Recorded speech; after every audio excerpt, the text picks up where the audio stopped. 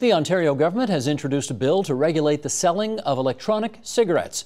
If the bill passes, e cigarettes will be banned in all of the same places where regular cigarettes are prohibited. Joining us now for more on the developments, Mark Holland, now Executive Director for the Ontario Mission of the Heart and Stroke Foundation, and David Sweanor, Adjunct Professor of Law at the University of Ottawa, and we're happy to have you two gentlemen in our studio today. Let's just, for the purposes of clarification, uh, show some of the bullet points, Sheldon, if you would, of the Making Healthier Choices Act. Here's what's in it. Banning the sale and supply of e cigarettes to anyone under the age of 19, prohibit the use of e cigarettes in certain places where the smoking of tobacco is prohibited, ban the sale of e cigarettes in certain places where the sale of tobacco is prohibited, prohibit the display and promotion of e cigarettes in places where e cigarettes or tobacco products are sold or offered for sale, ban the sale of flavored tobacco products with a delayed implementation date for menthol flavored tobacco products. That's all part of Bill 162, the so called Making Healthier Choices Act. Okay, Mark Holland, is the government taking the right steps with this proposed legislation? Uh, we feel yes. Uh, on e-cigarettes specifically, uh, really this has been something that's been exploding over the last while. Uh, and the research is uh, emerging. Uh, we don't know a lot yet about about how safe it is or how effective it is as a cessation tool, and so we don't really have a lot of comment on whether or not somebody should or shouldn't use it as a way to quit smoking. But we are seeing a lot of young people starting this up who are not smokers. And you know, I don't know about you, Stephen. When I'm out um, and about and I suddenly see somebody puffing on on something that looks like a cigarette in a public space, that's very jarring, and we're worried about renormalizing that behavior behavior. Right now, we have about 18% of uh, youth who are not smokers using these products. We're concerned this is going to lead to renormalization. This is going to lead to uh, youth uh, potentially addicting themselves to a, a harmful product because these products often still have nicotine. David Sweanor. Yeah, well, um, a very different view on this. I mean, I, I, spent over 30 years dealing with smoking. As a smoker, you mean? No, as, as, one of the leading advocates in this country on, on what do we do to reduce uh, cigarette smoking. So everything from the, the ad bans to smoke-free spaces to tobacco taxes. Uh, and one of the really key things is that to date we haven't dealt with the product itself. We haven't dealt with cigarettes. Cigarettes are an incredibly deadly delivery system.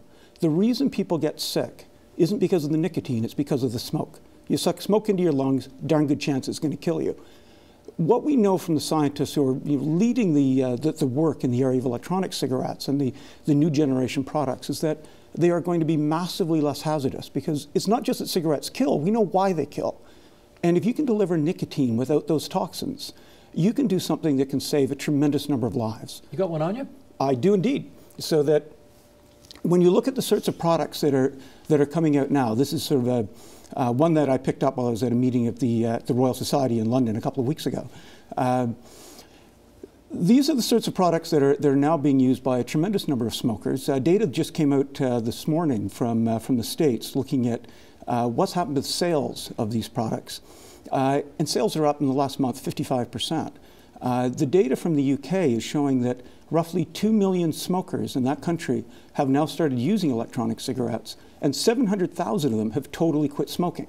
I mean, from a health standpoint, that sort of thing is a major breakthrough. Mark, do you want to comment on that? Well, I mean, I think the problem with e-cigarettes is that for every study that says that you know it might be an effective tool of cessation, there are other studies that say um, it's leading to dual usage, um, that there are potentially harmful effects of using it. Uh, dual usage a, meaning what? Well, so that they're going to use cigarettes and they're going to use uh, an e-cigarette. That the um, instead of leading cessation, it's leading them to sort of uh, sort of supplement one with the other, so they're not smoking as much, but they're using this product. We don't know uh, in terms of the data on how safe they are. There's a lot of conflicting data about uh, what what the uh, whether or not there are carcinogens in this. A number of studies suggesting that might be present. We also know from a cardiac perspective, from a perspective of heart and stroke, uh, that nicotine is something that is uh, is not good for the heart. We don't know what the impact of secondhand vaping is, um, and and I think you know as well. Most importantly, is this legislation doesn't ban it right? We're not talking about a ban. If you're an adult and you want to try this as a cessation tool, our guidance as the Heart and Stroke is we don't know how effective it is. It might be dangerous. It might be effective. Let's wait for the research. But let's not get kids addicted to this, particularly kids who don't even use tobacco. Uh, and let's make sure that we don't renormalize walking around in public spaces Okay, and see people laughing. You've made that argument about renormalizing or, Right. or having it be kind of a gateway thing Right. for kids. Could you speak to those issues? Sure. I mean, and, and also in terms of research, I mean, there's some very, very good research on this topic, and there are some terrific scientists who, who have looked at this in detail, and they fundamentally disagree with the sorts of things that, that Mark is saying. There's a lot of, I think, fear mongering, there, there's concerns of what if, but there's no question that this is massively less hazardous. Uh, we know that, you know, same as using nicotine replacement products, massively less hazardous. Okay, less hazardous, but do we want, I mean, his question is do we really want to, quote unquote, renormalize the behavior of smoking when we've Right. spent the last 25, 30, 35 years trying to get people to regard smokers as pariahs? Yes, but see, that's a hypothesis is that this would somehow renormalize smoking.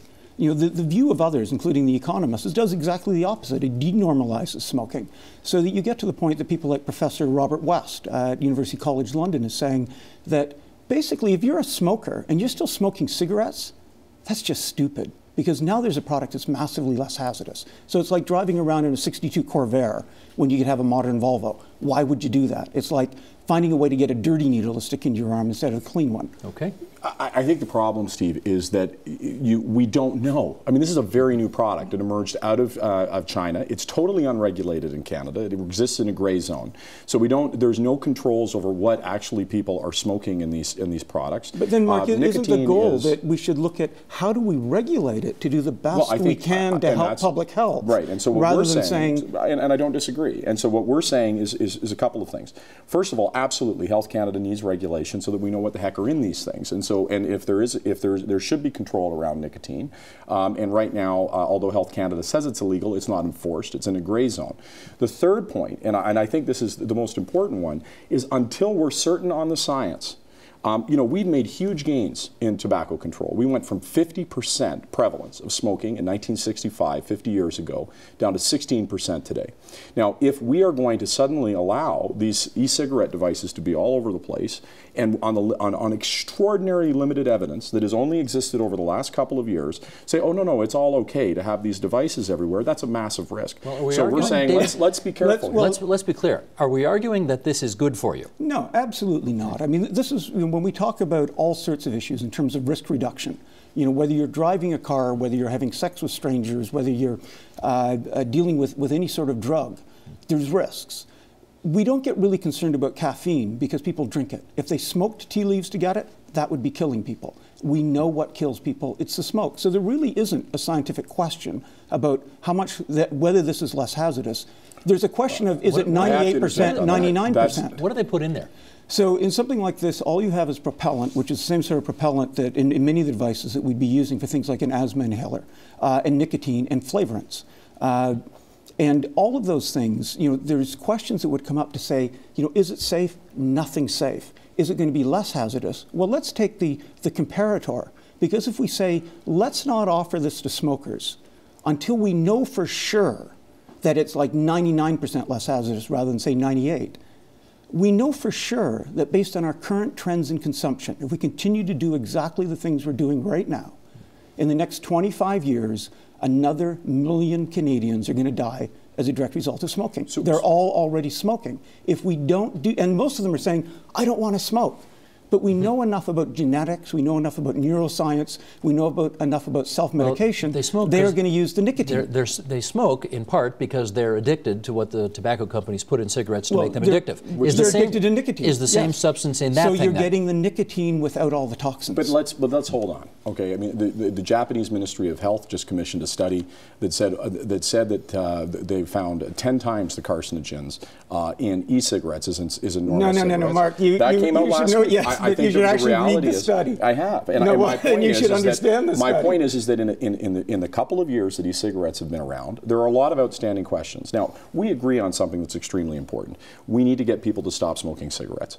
What we don't agree on is is that there is a very limited base of science. Uh, there's all kinds of questions around the, the, the safety, safety and efficacy of e-cigarettes, whether or not they even work as a Okay, cessation tool. but is- but, but let's take a pause and let's not allow this to explode into something that's majorly used and then all of a sudden we realize it's a huge problem and we can't go backwards and reverse it. Potentially, though, is this potentially a way station for some people from smoking a pack or two a day?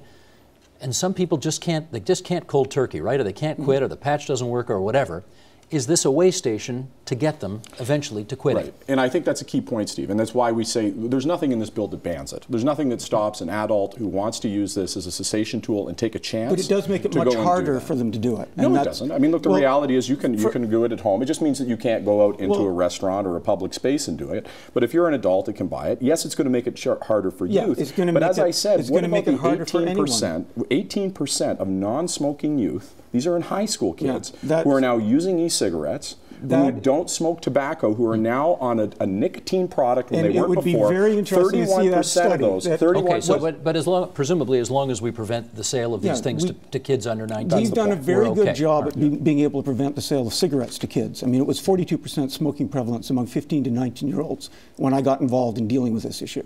I mean, that is just absolutely plummeted. The question is, out of fear of kids, do we, instead of saying things like, let's do something to protect minors, we do something to say, let's screw smokers. Let's make it harder for them to be able to quit.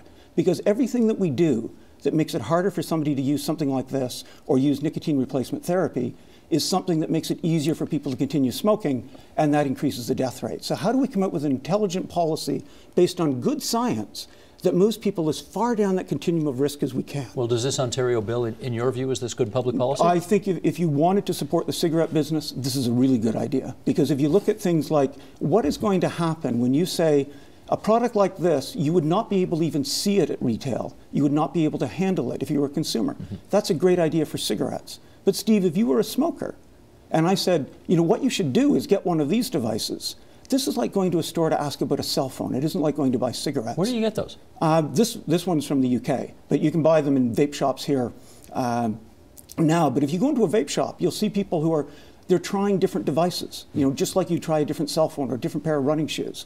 Somebody's showing them how to use it. That would be bad. They Mark, wouldn't even be able to see the, them. The best analogy, Steve, I can make is, um, you know, we remember when uh, we thought uh, there was some, uh, you know, a revolutionary new treatment for MS.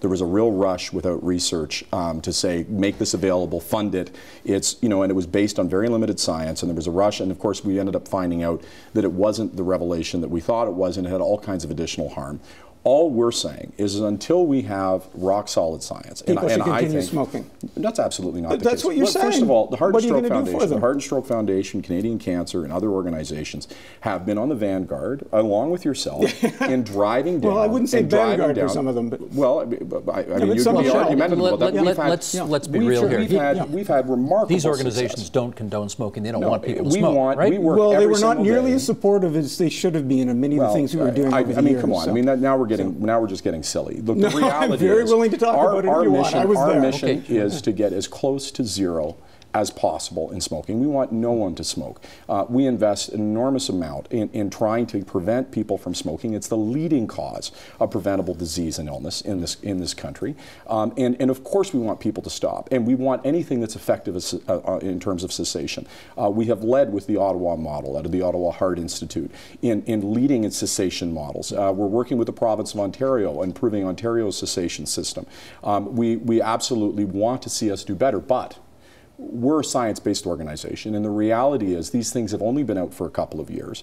And the idea that in a couple of years we know all the implications of, of this system, both in terms of the propellant that's being used, the fact there's no regulations of them, the fact that nicotine is both in, okay. in, in I get you. David, is that, not, is that no, not a reasonable concern? Well, the question is when do you know enough to act? Well, do you know enough after yeah, two years? We well, it's been more than two years, and we certainly know enough. So if we look at, again, the UK, which has the best research on this, and a tremendous number of leading scientists who have said, undoubtedly, massively less hazardous. The sort of products that we have now, they're saying one of the problems is it's, they're only acceptable to about a third of smokers.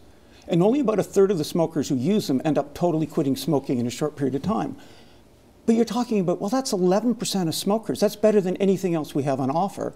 But again, the technology keeps getting better so that if we allow these things on the market, then just like cell phones, you think of, you know, what did we start with 20 years ago compared no, to what I, we I have get now? you, but you, are, is there anywhere in your argument where you're concerned that some people who might otherwise not engage in this thing might start because of the simplicity of this device? Uh, I mean, to, to, date, the evidence from the UK, which is the strongest, uh, is showing virtually nobody who is a non smoker is using these things. The only people who are using them, uh, and I think the most recent UK data, uh, and it's very thorough, unlike many of the studies that, that are, are talked about here, is saying 0.14% of the use is among people who were never smokers. Well, that's still a concern, and we want to deal with that. But that's like saying, should we say that until you can prove that seatbelts and airbags and crumple zones and something don't injure somebody, should we make sure that we don't have any auto safety features? You know, that was a great harm reduction measure. We reduced the death rate by over 80% automobile dr driving since so the time let, I was. Don't I let was perfection be the enemy of the good. Yeah, yeah let's Steve, start moving on this. What can we do when we're talking about a million deaths in Here's the next exactly 20 years? what we can do. Whether, and, and, it's in Heart and Stroke, Canadian Cancer Society, the Ontario Medical Association, Non-Smokers' Rights, um, the Ontario Campaign for Action on Tobacco all speak with a united voice on this point. Um, that we don't know whether or not this is a good cessation tool, and we don't know whether or not it's safe. If you want to quit smoking, call the uh, call the smokers helpline. We have all kinds of cessation okay. To tools. be clear, though, Mark, you, are not you're not for banning these no, things. No, and that's and that's where we don't want to get. We, we, this is not where we want the argument to go okay. because I think it obfuscates the main point, which is that we don't know. And if it turns out in the future uh, that e-cigarettes are an effective use of uh, a tool for cessation, we will absolutely advocate them. We just do not know that today. And secondly, there are um, there's a real risk in allowing their use to be all over the place. I've got to ask, what's your interest in this? Public health. I mean, I've spent over 30 years doing work to reduce smoking. Um, you know, I don't get paid by anybody on any side of any of this stuff. Uh, but we have the opportunity, and when we look at the World Health Organization telling us this century, a billion people are going to die as a direct result of cigarette smoking. We have known for decades they smoke for the nicotine, they die from the smoke. If you can remove the smoke from that equation, we can do something that's on par with getting rid of smallpox. You know, we have the chance of a breakthrough of absolutely enormous historical significance. If we stand in the way of that, if we say, what about, or if we're very risk averse, we're stuck with that status quo. We're stuck with that over 40,000 Canadians per year who are dying from smoking Gentlemen, because of the smoke, not the nicotine. My status quo is that every hour has 60 minutes, and we're rapidly running out of them. Thank you very much for coming in and having the debate at TVO tonight. David Sweanor, the University of Ottawa, Mark Holland, Heart and Stroke Foundation. My thanks to you both. Thank you. Good talking to you, Steve. Support Ontario's public television. Donate at tvo.org.